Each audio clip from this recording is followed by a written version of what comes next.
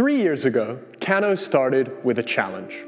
My little cousin Mika wanted to build and code his own computer, but he had a condition. I told him that I'd like to make a computer that was as easy as Lego and no one would have to teach you. Kids today want to create, not just consume the world around them. We think they can, and we think they just need some simple, fun tools to get started. Kano is a computer kit you build and code like Lego. We've made sure that every step is simple enough for a six-year-old. You start with a story. A guided book shows you how to plug the pieces, build the computer, wire up a speaker, give it a cool style, and more. Your computer comes to life, and an on-screen journey begins.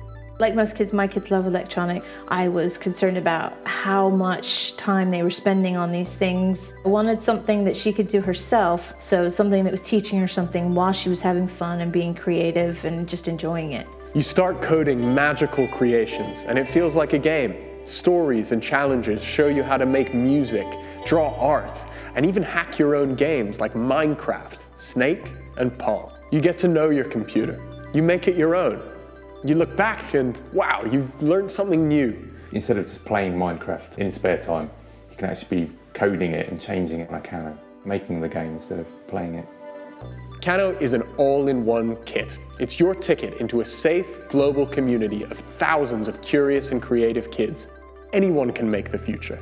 A simple kit is just the beginning.